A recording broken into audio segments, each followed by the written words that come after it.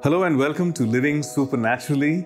And uh, this week we are going to be looking at a brand new series called God Imitators. You know, we are God's children, and if that was not a privilege enough, God has invited us and called us to imitate Him, to be just like Him. And we know that, um, that children actually try to be like their parents.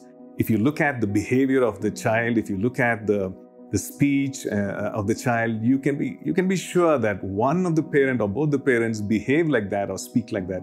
And it's such a privilege that God has called us to be His children and He has called us to imitate Him. Ephesians chapter 5 and verse 1 says, Therefore, be imitators of God as dear children. And 3 John and verse 11 issues a warning. He says, Beloved, do not imitate what is evil, but what is good.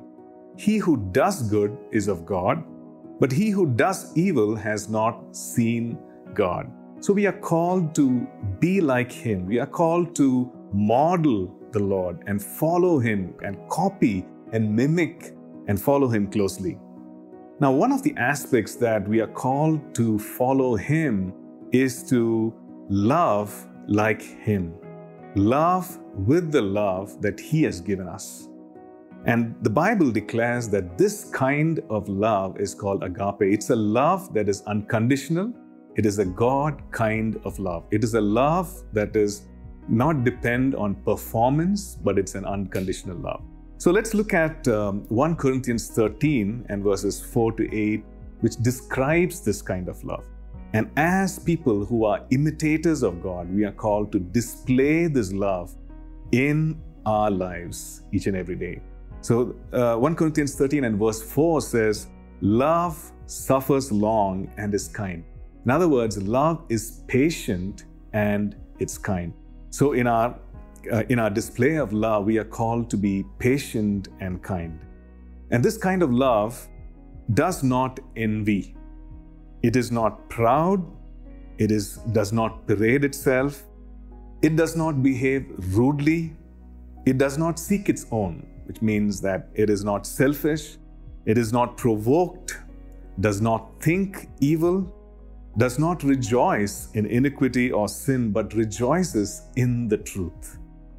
And this love bears all things, believes all things, hopes all things, endures all things. And this love never runs out or never fails. The best part is this we see that God has given us His love in our hearts. And we read this in Romans chapter 5 and verse 5 that the Holy Spirit has poured out the love of God into our hearts. And this God kind of love, this agape, is given for us so that we will display it in our lives. Now, if you see that it does not say, love those who love us only, there is no condition like that. Because God loves the unlovable. God loves even those who do not reciprocate that love.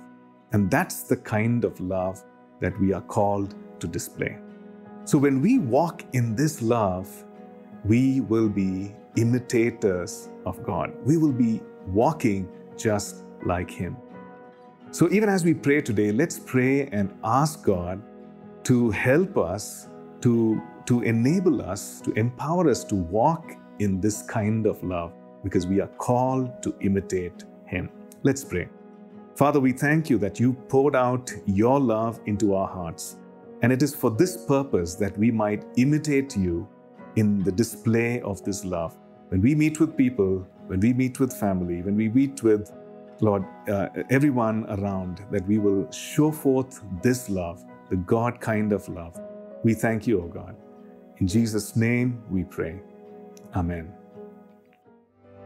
Thank you for tuning in to Living Supernaturally. For more resources to strengthen your spiritual walk, please visit apcwo.org.